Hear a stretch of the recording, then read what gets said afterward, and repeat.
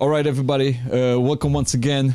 It's the Wave Show podcast, live from That Sound Studio here in London town, with a very special guest. This time, Bukky Leo from Black Egypt. Thank you for coming down. Good to be here. Thanks for having me. No, it's a it's a pleasure and an honor. Thank you, for, thank you for coming down. So, uh, how how how you been? How's uh, you know? Let's start off easy. How how you how you been these recent times? You know, In taking one day at a time, bravo. you bravo. know. Um, yeah, you can't plan ahead, so you have to take one day. What happens one day? Yeah, You adjust your plans to that day. that, that, that, that- yeah. I mean, it's been it's been crazy in London recently, but we're we're Yes, we're, yes. we're hanging in there. We're hanging in there. Yeah, yeah. I, I know you've you've been busy doing probably lots of different projects, but I mean, let's let's maybe start from from from the beginning. You know how how you how you how you got started, and let, let's go let's go back to you know to the start. So. Uh, you, if you don't mind telling us like where you were born and how you, a little bit about your background, how you grew up, and uh, All right. So, like we'll go all the way back. You know, I, want to. We're gonna go all the way back, and we're gonna go chrono. how long you got? Uh, listen, we got time. Li- listen, we got time. So take your time. Oh, boy. We can we can go into the details, you know. But but I want to roll. The, I want to know like the real story of of Buck Leo, you know, and how you how you came about, you know, till till now from from the beginning, you know. We'll go a little bit chro- chro- chronologically. I need to I need to know how to pronounce that properly, but Well, uh, I'll do what I can do. I'll, yeah, I'll see what I can yeah, of do, course, of course, of course, of course, of What course. comes to my head. Yeah, yeah, yeah, you know. yeah. Um, so You were bo- born in uh, I was born in Ladbroke Grove. oh Labrador Grove, all right. Ladbroke Grove. Yeah, yeah, in, yeah. uh, London town, Labrador Grove. Um, yeah, yeah, just in the mangrove. I was, uh, you know, part of the Windrush generation. Okay. You know, uh, Your, your parents come in originally from uh, Nigeria. Nigeria. Nigeria. Okay. So that's the connection with the Afrobeat. Okay. You know. Okay. Okay. So they were here, and uh, you know, I uh, I was around during the uh, uprising in Ladbroke Grove and stuff. Anyway, I was born in the UK. yeah. and um, but in 1964 I went back to Lagos. Okay. No, I went to Lagos for the first time. It's not Okay. Mm-hmm. you know, and um, It's not s- Nigeria. It's La- Yes, Yeah, yeah, Lagos in Nigeria, Yeah, and um.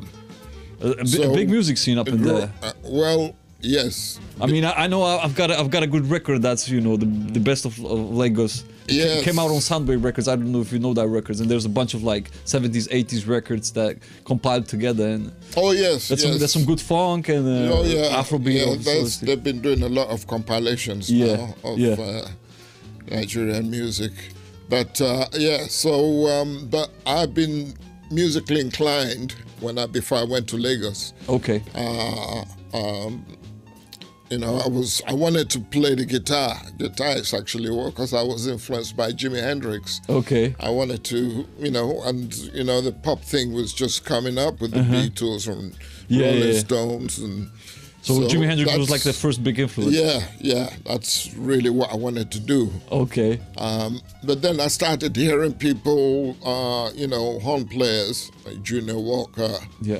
you know, uh, Grover, and um, I thought, cool, you know, all good. And then, of course, I went to the shrine and uh, I heard Fela playing, Mm-hmm. and uh, Fela Kuti, you mean? Fela, Yes. Yes. yeah, and I, I said, okay, this is it. Um, you know, You were hooked But I, I was hooked, but I was still open to playing guitar. Okay. Okay. Um, but the first instrument that came to my possession was a saxophone. Okay. How, how did that come about? How did how did you get your hands on the saxophone? I got my saxophone from um, a guy called YS. Okay. and uh, he was playing. He was in the Kalakuta Republic Okay. around that time, and he said, "You want to play?" Um, he gave me the saxophone and taught me my C scale, Uh-huh. and from then on, he said, "The rest is yours to go and, you know, develop yourself." Yeah. So that's W- were you like self-taught, or do you, did you go to any music school? Or? later on I did, but Okay. to start with, So you know, w- how how old were you around that time when you when you picked up the saxophone the first time? And I was actually already uh, late teenage years. Okay. You know, late Okay. late teenage years, and um, I just practiced every day. Mm. You know, practiced every day. You know, I'm at the Kalakuta Republic. Yeah. So I'm playing all the time. Even Fela, Fela, Fela's wife started complaining. This guy's playing all the time. Fela is trying to sleep. and you're there practicing. and. I'm there yeah? practicing That's in the backyard. But um, yeah, yeah. So it started right from there, and then you know, uh, with the Africa 70, Yeah. Tony Allen. Yes. Um, Late great Tony Allen. oh yes, Yeah, rest yeah, in power. the- Rest in rest in peace. Yeah.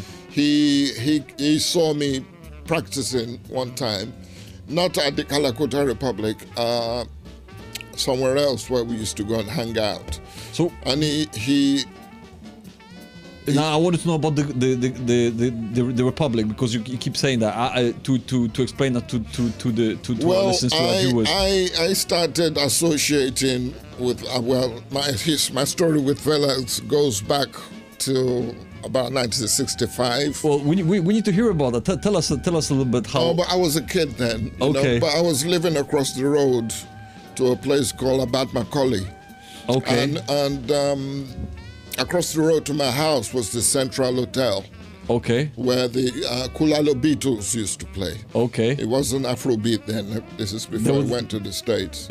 Um, so as kids, we we go across the road. We're too young to go in. Yeah. But, you know, I make friends with the guy at the door. He lets me in. Oh. And, uh, you know, but it was a high life. So it wasn't anything new, but it was still nice to have live music in front of your house. Of course. Yeah. Yeah. you Amazing. know? Yeah. Yeah. So me and my sister, we used to go Go sneak into the little go to, to the place and, and. yeah we, we watch the band a little bit and then you know because we live across the road we don't have to go we hear Fela arguing about money or you know with the club owner and then he moved and then moved from there he went to the, um, the afro sport uh, uh, but before afro sport he went to gondola now the gondola is a club which was near my, my school. I was at primary school, Okay.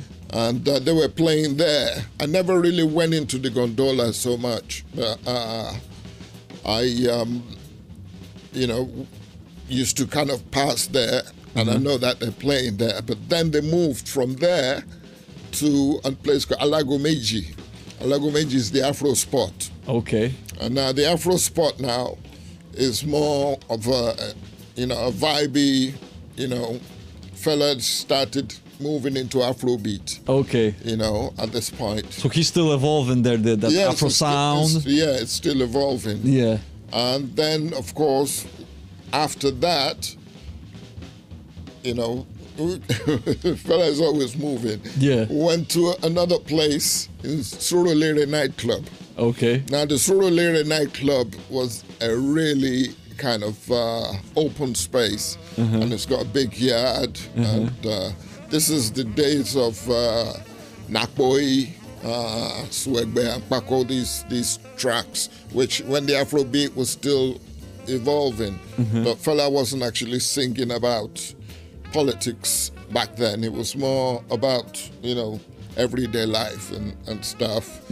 And uh, yeah, so that got great. And then he moved from there as well. But at this time, Fela was beginning to associate with, you know, started uh, getting high and, you know, the music was developing Yeah, with yeah, his yeah. development. I heard he used to love his, uh, love Oh his yes, weed. oh yes, and J.K. J.K. Braimah, Yeah. who was the man who was Fela's right hand man. Okay. He, you know, actually showed Fela around, and things kind of developed. Started growing. The popularity It- started growing. Started growing. Yeah. And then went to the final, well, not the final club, uh, the final club that Fela had to rent rather than own. And that was uh, Ishaga, that was the shrine. Okay, so Ishaga was the, shrine. the okay, shrine, it's called yeah, the shrine. uh-huh. Yes, yes. Which is, uh, you know, Ojuelegba, which, you you know, it's a big roundabout. Fela's house was just off the roundabout. The club was just about 50 yards away from his house. Just That's amazing. Everything conveniently uh, conveniently placed. placed. Yeah. You know, and that that became what's now known as Kalakuta Republic. Okay, okay. Is that Yes. that place? Yes. Okay, yes, uh, okay.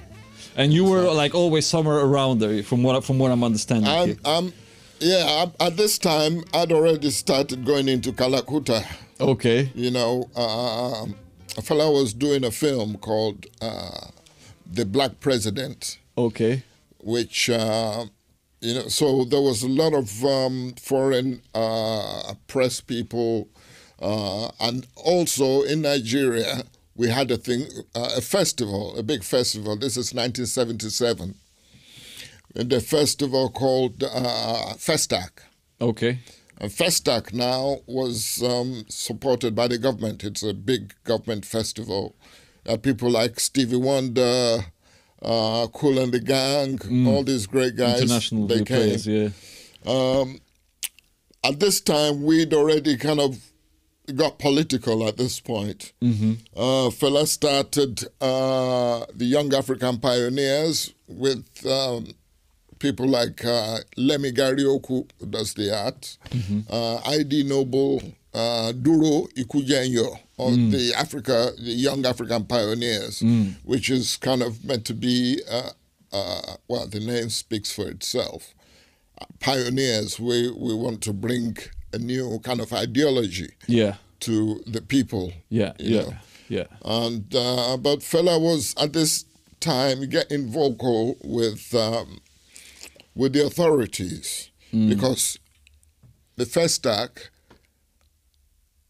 Fela was invited to come and to be part of the committee Okay. who organized the Festac, but Fela wanted to use Festac as a kind of revolutionary educational thing to you know I to get you. change people's mental thing, not just music. Wanted it to be you know Mm-hmm. A platform for uh, to to spread education to and spread and information. African ideology. Yes. you know. Yes. Uh, uh, but the the government weren't interested in that side Yeah. of things. They Yeah, just wanted to perform, and they wanted to make. So he didn't perform. He didn't participate. okay. and Festac. Hmm. So the funny thing is, all the great artists that came to Festac, they all ended up at the shrine.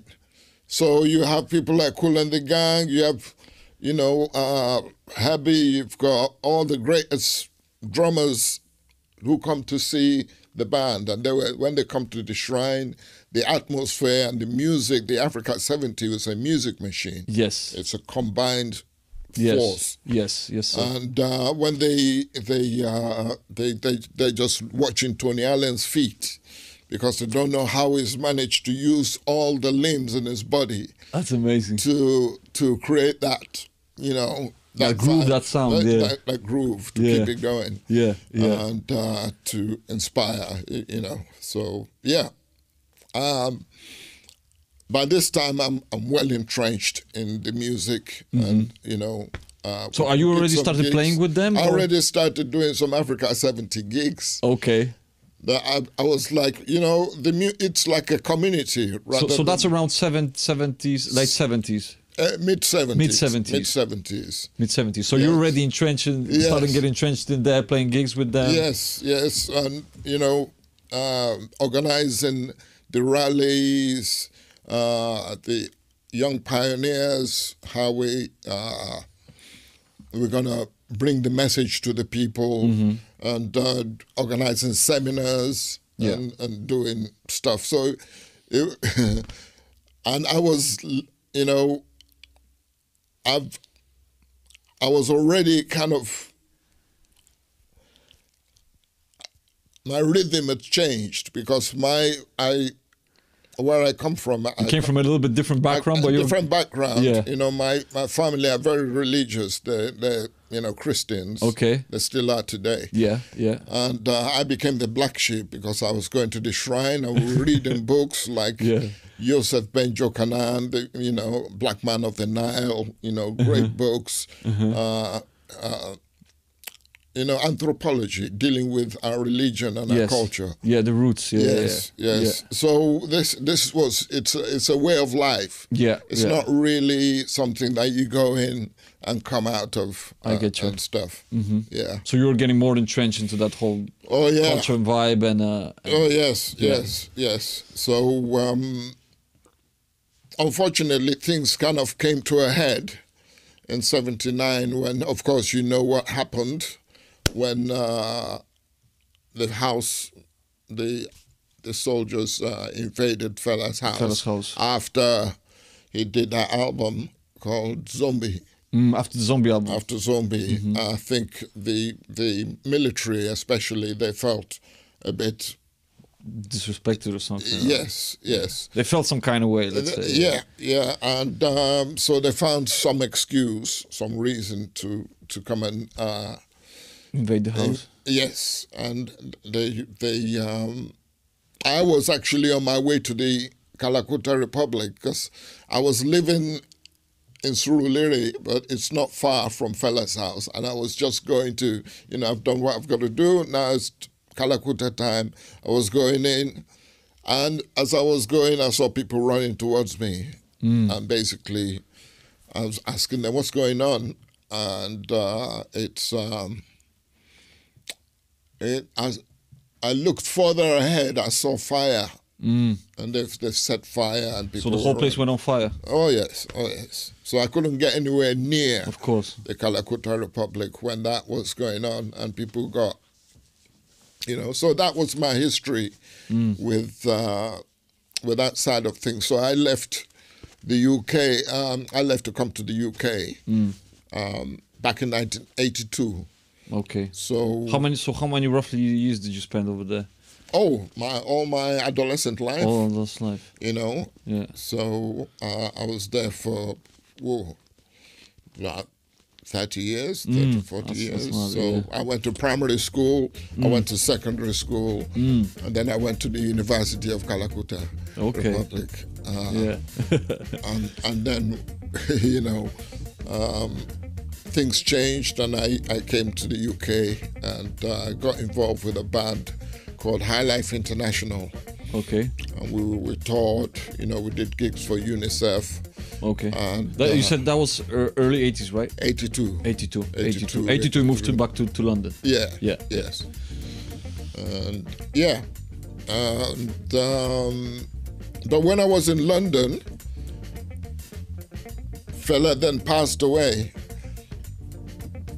after a lot of things. Yeah. I don't want to make this about you know uh, what Fela went through. Yeah. But sadly, we lost him. Yes, yeah. and um, Femi Kuti and uh, his daughter and, and, and Femi, Femi Kuti and his sister they came to the UK uh, to do a kind of appearance and they needed a band to uh, you know to do some stuff. And, Yeah, to do some gigs. you know they were still young then.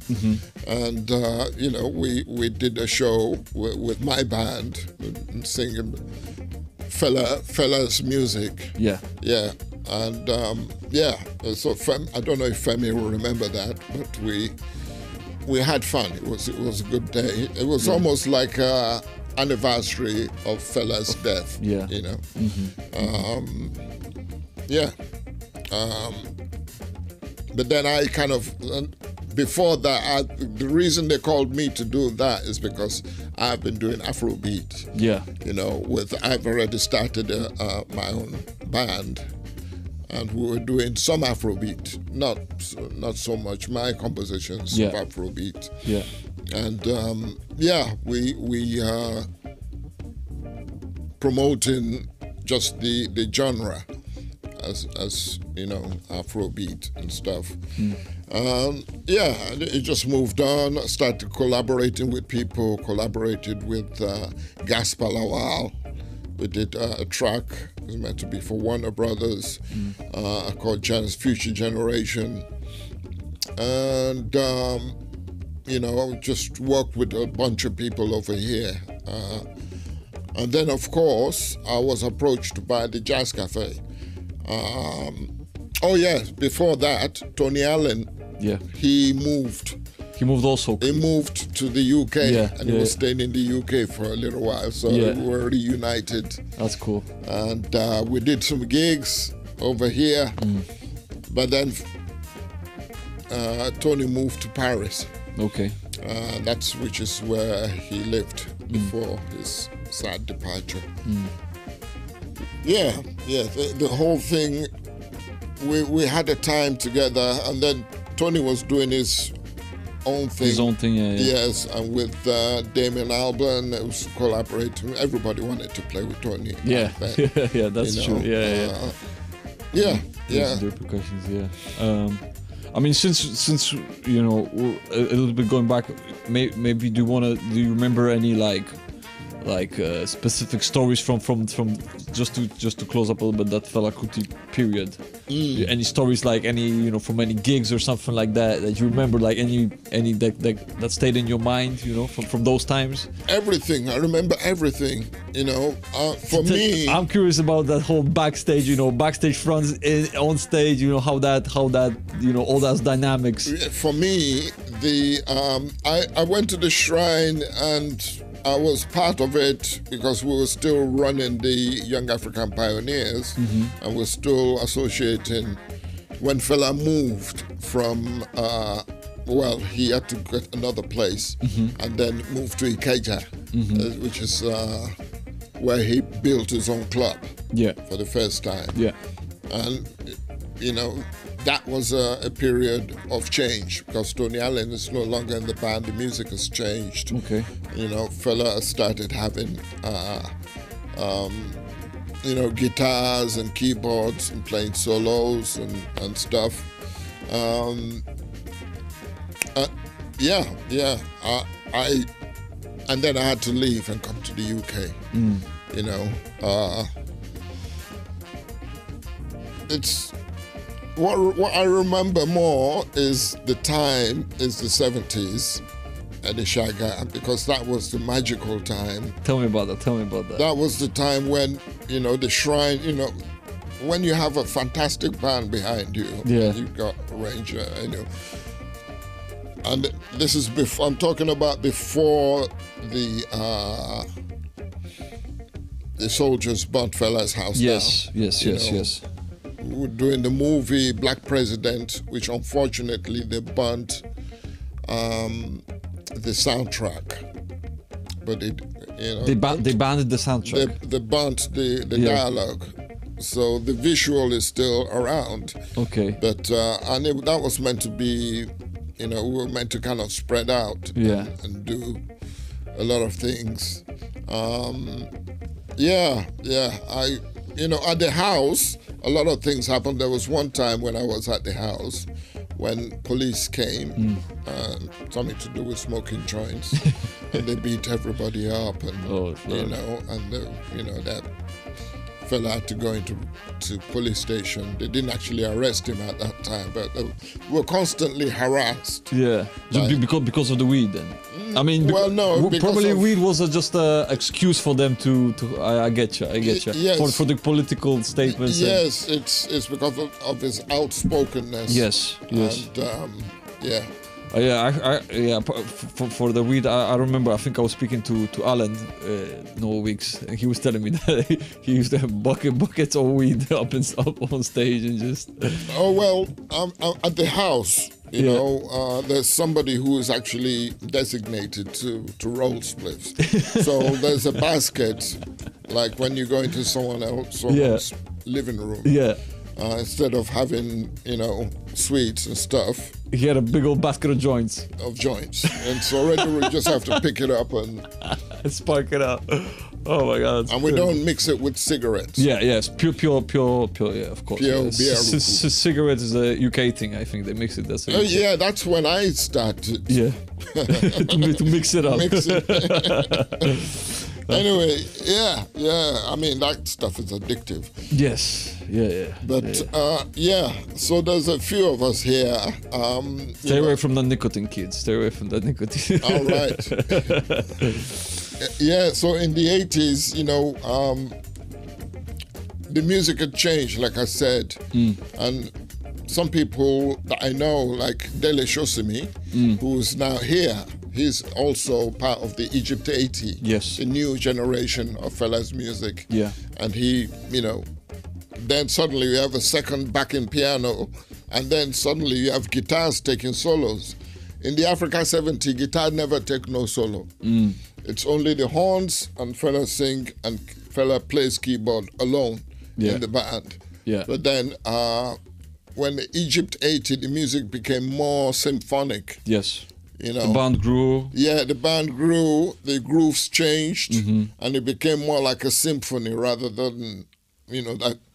Although the groove is still there. Yes, the you know, groove, yeah, yeah. Of course, it's Fela. Yeah, yes. He, he writes the, you know, his music. Yeah. And uh, So he was like the mastermind behind, behind like most of it, like ninety percent of it, or No, I would say hundred percent. 100%. Fela was the the vision of the music. Fela had it, Okay. Mm-hmm. he also had a vehicle that made it possible. And that is Yeah. Tony Allen.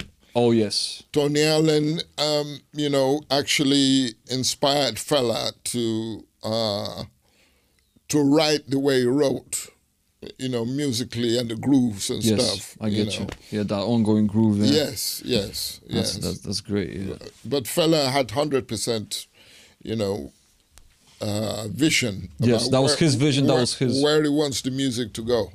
I you get know? Yeah, yeah. So All right. So um. So okay. So eighty two. You, you you you move you move to London. You start Yeah. you start you start doing your own thing. Yeah. You Yeah. form a few few different. yes, yes. You play in a few different bands. Yeah, the the the funny thing uh, is when when Femi Kuti actually came to the UK after Fela's departure. Yes. Um, he wasn't quite used to singing Fela songs. Mm-hmm. and I've been doing it, you know, since I came here. Yeah. So we we had to kind of work together, Uh-huh. and I have to kind of show him one or two angles Yes. of how it works. Uh, and uh, but he grew up. That's his thing. So he knew it. It's just not performing it at the time. Um, yeah, yeah. And he came with some original songs as well, which we, we learned and stuff. And uh, but it was just interesting to to find myself doing that. And since then, I then started. Uh, I got involved with a guy called Gilles Peterson. Oh yeah, of course. We know just worldwide uh, FM. Yeah. Yeah, yeah, Yeah. that's right. And the Jazz Warriors were already in focus.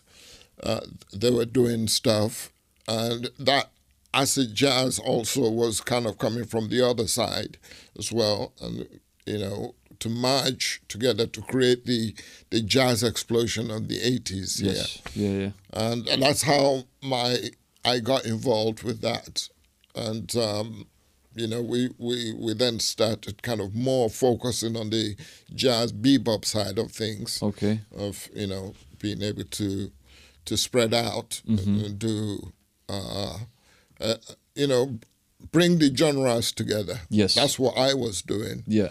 you know and uh, yeah we did a lot of stuff um, with the Royers and then also uh, we got inv- we we didn't start it but I got involved with a band called the African Jazz All Stars and that featured some you know uh, South African giants like Lucky Ranku, Pinise Saul um, I think Dele Sosimi also played with that band for a little while and we we uh, we collaborated with uh, people like uh, Roy Ayers, who came over. Legendary. uh, Warriors, yeah. yeah, American, yeah. still around. Yeah, of course. Yeah. yeah, yeah. And, and um, you know, we we, we had um, a lot a, a lot of different great uh, guests who, who who worked with that and kind of moved.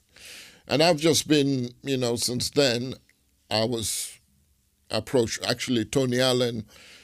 Um, we did a few gigs, and he said, you know, uh, the guy who owns the jazz cafe saw me with Tony Allen, and he approached me and said, "Do I want to do a Fela Kuti tribute?" Yes. You know, uh, I said, "Well, of course, let's give it a try." Yeah.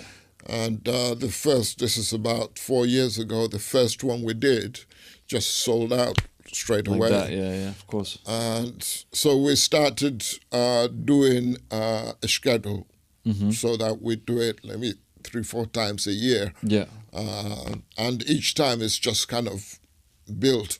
It's just become, bigger and bigger. yeah, it's become more legendary Yes. as a night Yes, for Afrobeat. Where, Yes, you of course. We, um, yeah, yeah. Um, in the meantime, I was also collaborating with, um, you know, um, a lot of Americans who were coming over. Mm-hmm. Uh, uh, one guy in particular who actually recorded with this um, Bob Moses, okay. who played with the Brecker Brothers and Horace Silver and guys like that, is still in Boston. And actually went to the States to buy a saxophone, believe it or not. And I was introduced to Bob Moses, and Bob Moses heard me and said, "Guy, we got to record." We gotta record We together. and yeah. we just just like this. We came into got into the studio. He sat on the drums. He got some musicians in, and um, yeah, we we, we we we did this album here, Mm-hmm. uh, Spaceship over um, Africa. Spaceship over Africa, yes. Yeah, Rakalam, Bob Moses, and Bukky Leo. Yeah, yeah, and We're gonna go try to get a visual for this for for guys on the podcast. Yeah. you can actually see him in, uh, in the if you open it you see the you can see he's he's one of those cats who's worked with everybody in in the jazz fraternity Yeah. so um I did that and you know then you know I was also in the meantime trying to 2017. All right. To to record my own album which which I've done Yeah, because um, one of your most known bands, Black Egypt. yes You want to tell a little bit our story of or a little bit story of, of Black Egypt and uh, or okay, here's Bob Yeah. Moses. Yeah. Nice. is, is Um, um, Bukky here's uh, the front. Yeah, nice. it was kind of way out. We we we kind of branched out to kind of cover a lot of things. Um, yeah, Egypt 80. Egypt 80 actually started as the source. You know, we we got um, a grant from the Arts Council to do a tour around the UK. Yeah. We did a tour. Uh, we, did, we did, you know, Newcastle, all those places. When we came back, the band was like. When, hot. did it when did it form? If you don't mind me asking, Uh, what the- year was that? That well, we're talking about 2000. No, no, no, no. We're talking about yeah, about 2001 or two. Somewhere there. All right. Yeah, Yeah. Yeah. yeah. that's right. The- the- and we, yeah, 2001, because I remember it's um, it's the same time uh, That's the 9/11. Well, that's 9/11. 9/11, Yeah, which I, I didn't want to say because it's a sad thing, but Yeah, yeah. that's the time. I mean, history is history. Yes, yes, that's right. Um, yeah, yeah. Um, So that's when you formed and you started doing yes, gigs. Yeah. we we started doing gigs. We you know went into studio and recorded uh, our album, which is it's called Independent Mind, Mm. and um, I'm hoping to get it out because it, wasn't released. Yeah. It wasn't released. It's just it's still not released. You were just gigging with it. No, well, we do. We, yeah, we did. We did some gigs, Uh-huh. um, but the album itself never really came out. Okay. And um, but then I moved on, and that's when the uh, the Gilles Peterson thing came into effect. Okay. And So that was early 2000s. Yeah. yeah, yeah, yeah. You know. What about the, the 90s? Because we, we, we went all the way through N- 90s. Anything like Nineties is just gigging, Mm. um, you know, collaborations Mm. and stuff, and any any spe- specific bands you were in that time, or you want to mention, or um, any records that, that come to your mind from from like 90s that you well, in the nineties was more kind of live gigs. were, were involved with. I get you. You know, um, African Jazz All Stars was Yes. Mm-hmm. already there around, so it's a kind of like a big band. Yeah. Um, Full on band. Yeah. Yes, that's right. And I think I had a couple of albums out. Um, and that, the collaboration with um, with Gasper Lawal was also in the 90s. Okay. Uh, and that's that. I want to do a reissue of that and stuff. Um, you know, Gilles Peterson moved on from Acid Jazz Records. He went. He went to work with a, a bigger label and Yeah. stuff. Uh, started something else. Uh, and I, I just kept Still going strong. Big up, Gilles Peterson. Yes, yes. Worldwide FM. Yes. Yeah, yeah. Well, he's he's got his own kind of setup now. Oh, yeah, of course, yeah, works yeah. with the BBC. Yeah. Yeah. also Uh, BBC. Yeah. Shows, yeah, shows on. BBC Worldwide FM. That's yeah. right. That's right. And um, and then I did a follow-up album called River Nile, Yes. um, which uh, features um, uh, people like uh, Quentin Collin.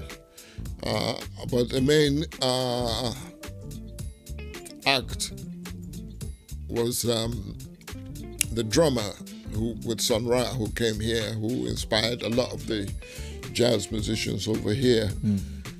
He he started living here. He, he you know, and everybody wanted to play with him.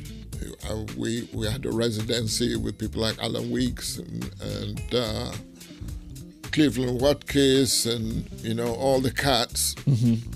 We all kind of Jazz around him. um, I managed to uh, record an album uh, as a quartet with him okay. uh, called Evolution, which is out. Well, it actually just released it during the first lockdown.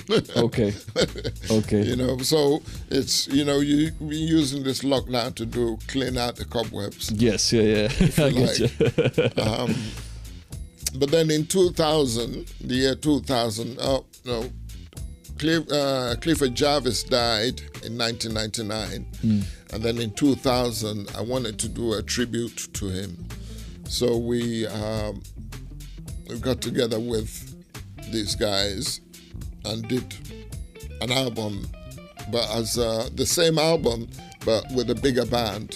So we had uh, a horn section with uh, Trevor Edwards, Quentin Collin, myself, and uh, Jonathan G. and Sebastian Rochford on drums.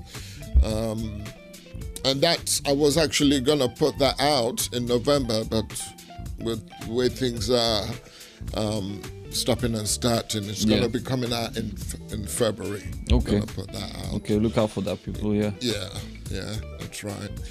So right now we are just fully immersed in the, as far as life goes, in the Afrobeat Yes, sir. Yeah. thing. You know, uh, Fela spirit will, you know, Live on forever for sure. oh yes, Yeah. it, it kind of evolves and Yeah.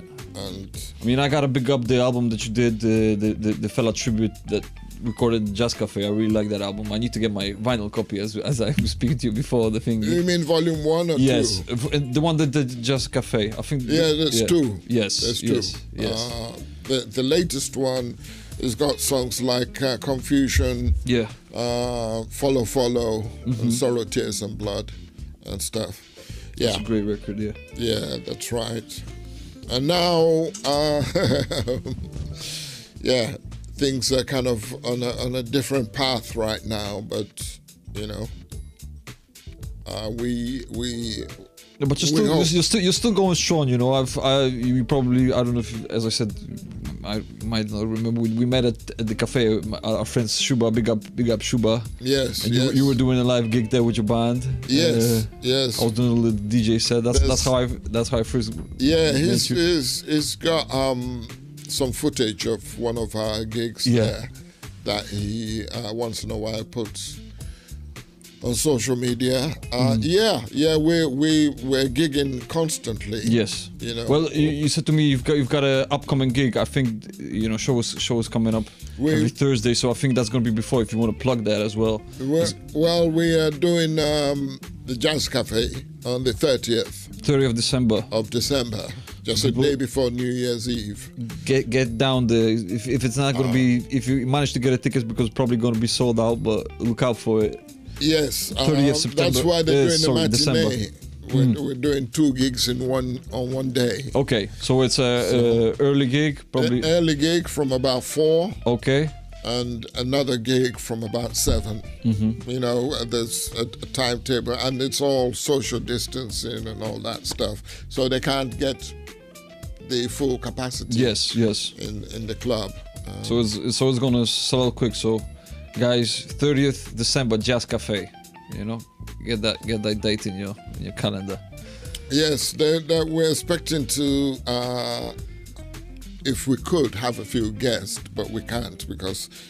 Again, COVID and the thing is yeah. Yeah, we, we can only have a certain amount of people on stage. Mm-hmm. Um, but it's interesting. The last one we did, the place was full, Mm. uh, but they were all sitting down, Okay.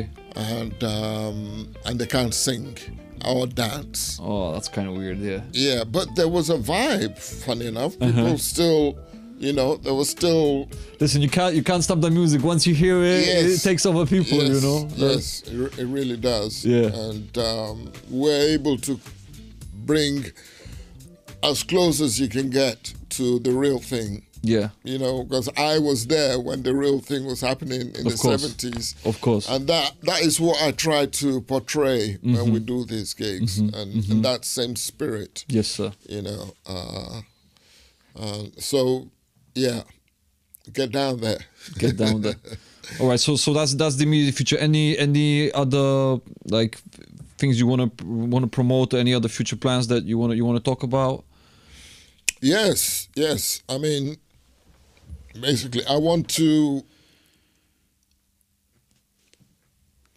I'm working with some young people, and we want to bring some new sound. Mhm. New flavor to the Afrobeat. new flavor Yeah. you know because there's a two there's two different kind of genres in this area Mm-hmm. there's afrobeat and there's afrobeats Okay. Now oh yeah, yeah, Afrobeats. Yeah, yeah, I get what you say. the Yeah, yeah, beats is more kind of hip hop hip hop based yeah, yeah, yeah. Dance, uh, hip hop, dance kind yeah. of stuff Uh-huh, and um, when I was in New York uh, this is back I'm taking you a little bit back now That's right. That's fine.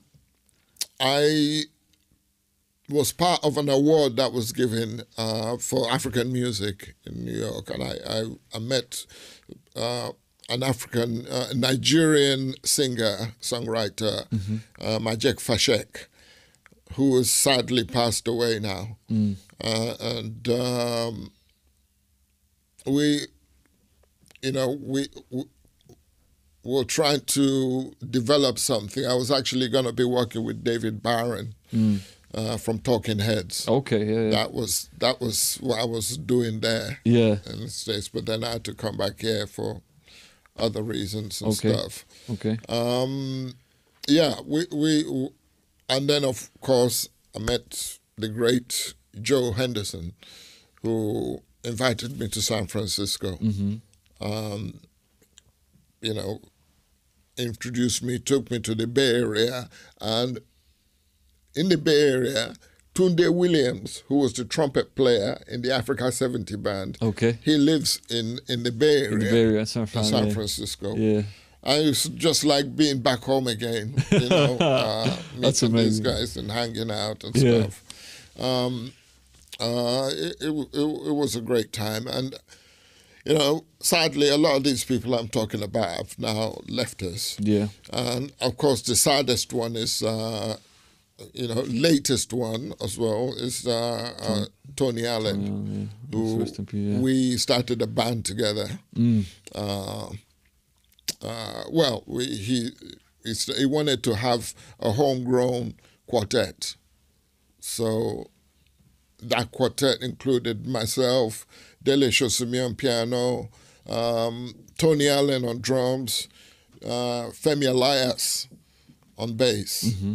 Uh, we did a few live gigs in the UK, and that was special. Yeah. That was very special. And uh, sadly, on you know, the last gig Tony Allen did, it was a trip. It was uh, a collaboration with someone who'd passed away, Hugh Masekela. Yeah. Hugh Masekela passed away. Is it last year or year before?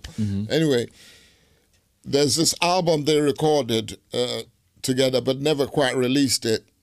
And Tony Allen was doing um, a tour. it was about to start a tour.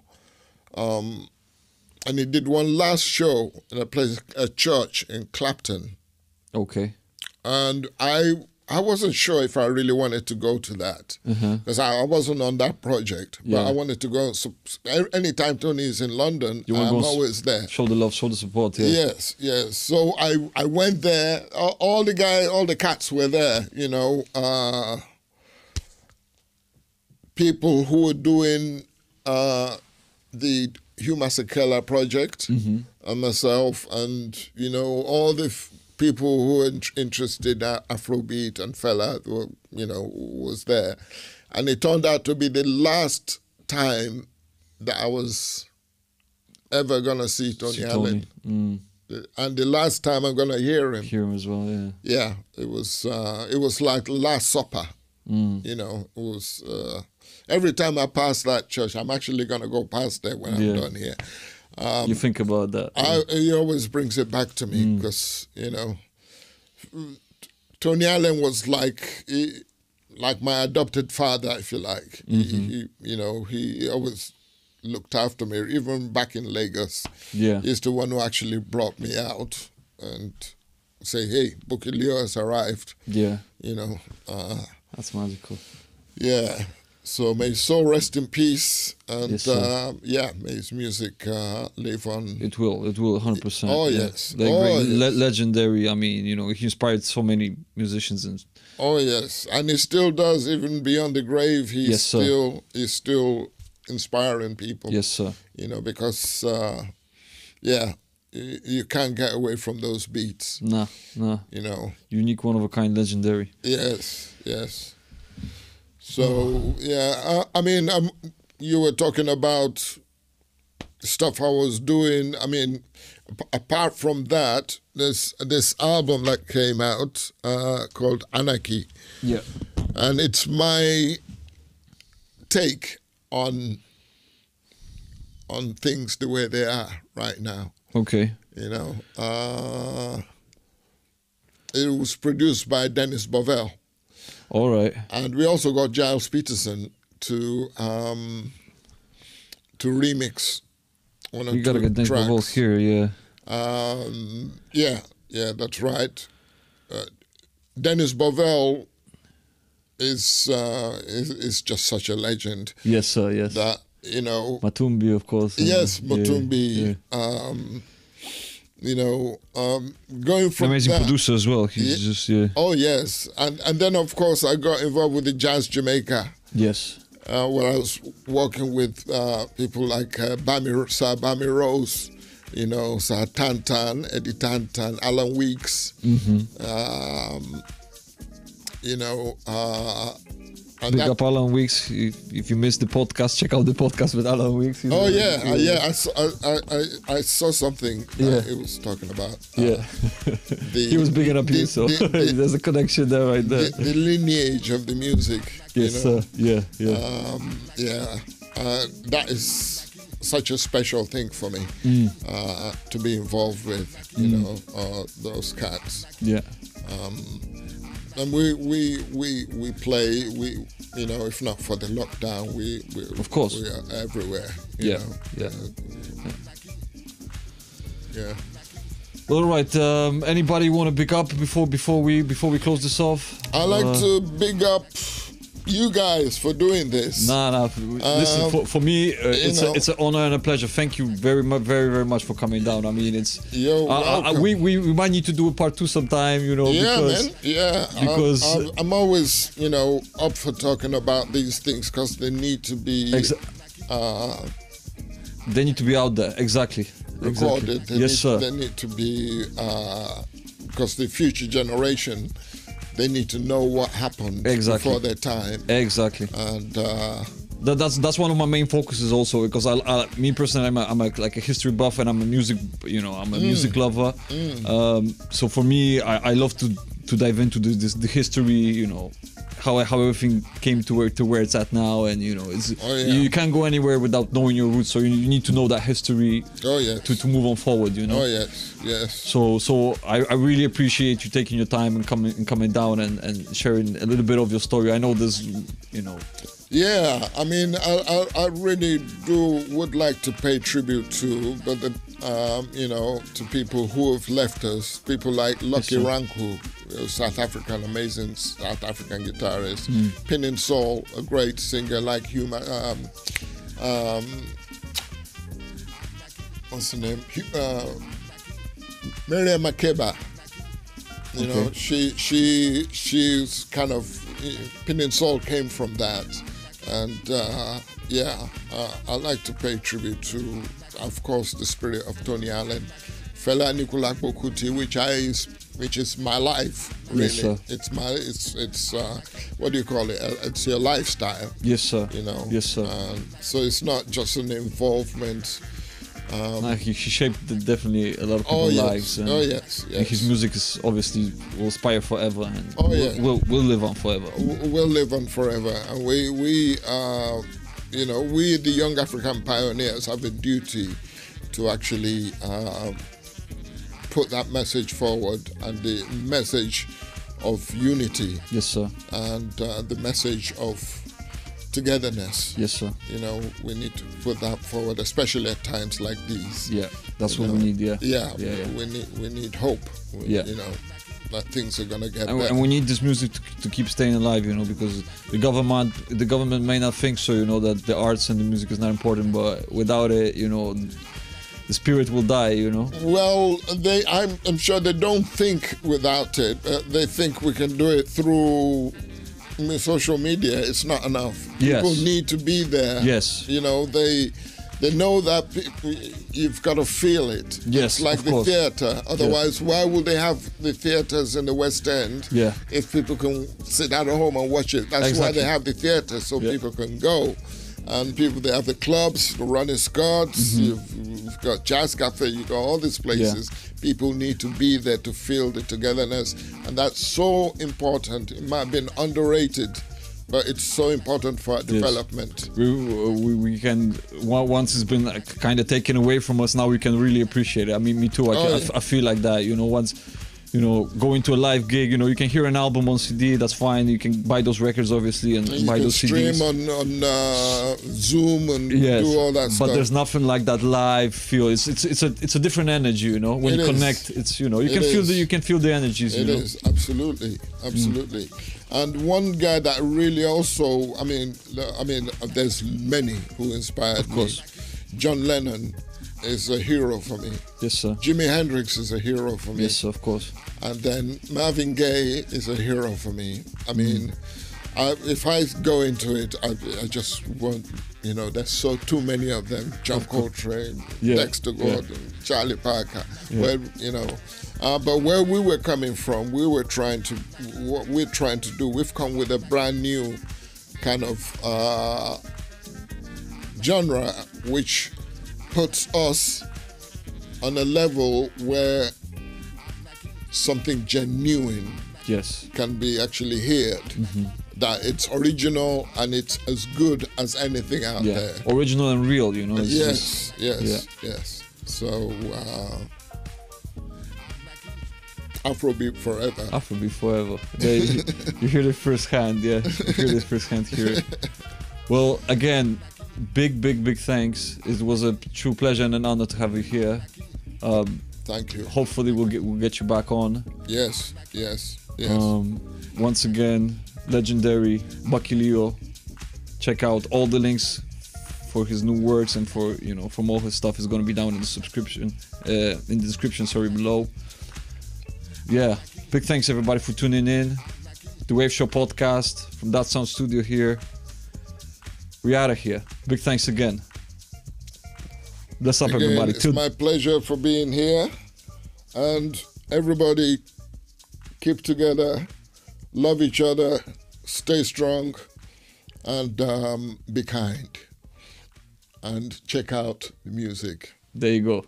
Love and unity. Guys, see you later. Yeah, tune in for the next one. Bless up, everybody.